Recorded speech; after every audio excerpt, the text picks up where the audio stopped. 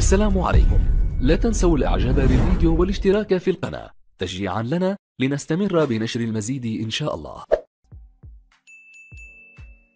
التجارة تطلق وجبة جديدة من مادة الطحين. أعلنت وزارة التجارة ووزيرها أثير داوود الغريري إطلاق توزيع وجبة جديدة من مادة الطحين ضمن مفردات الحصة التموينية. وذكر بيان للوزارة أن الشركة العامة لتصنيع الحبوب باشرت بقطع قوائم تجهيز الوكلاء للحصة الرابعة من مادة الطحين. ضاف البيان أن تعميما صدر إلى مراكز القطع في بغداد والمحافظات لقطع حصص المطاحن من الحبوب اعتبارا من يوم الأحد الموافق الخامس من شهر آيار الجاري واستقبال الوكلاء اعتبارا من يوم الثلاثاء الموافق المرافق السابع منه والشروع بعملية القطع وفقا لجداول ومراجعة الوكلاء وحسب توقيتات خطة التجهيز التي نشرتها لجنة الخطة المركزية في الشركة وأشار البيان إلى أن جداول المراجعة أعطت الأسبقية في المراجعة إلى المناطق الأكثر فقرا مع التنويه إلى أن تجديد أجور قوائم القطع سيكون إلكتروني في عموم البلاد عبر بطاقة الدفع الإلكتروني وتبعا لنظام الدفع الإلكتروني الذي اعتمدته الشركة منذ بداية العام الجاري. ودعا البيان في الوقت ذاته الوكلاء إلى مراجعة مراكز القطع حسب الجداول التداول المعلنة مع توجيه وحدات القطع والتسويق في مقر وفروع الشركة إلى تنظيم عملية المراجعة وتبسيط الإجراءات. وأكد البيان على متابعة عملية التوزيع تجهيز الوكلاء والمواطنين من قبل اللجان الرقابية واستقبال شكاوى المواطنين حول نوعية الطحين المجهز وأوقات عمل الوكلاء أو في حال استيفاء مبالغ أكثر من الأجور التي حددتها الوزارة عن كل فرد. ودعا البيان جميع المشمولين بنظام البطاقة التموينية إلى مراجعة الوكلاء. لاستلام حصصهم المقررة لضمان عدم تكدسها لدى الوكلاء بعد التأكد من سلامة الكميات المجهزة والإبلاغ عن المخالفات إن وجدت عبر الاتصال بقسم الرقابة أو فروع الشركة بالمحافظات.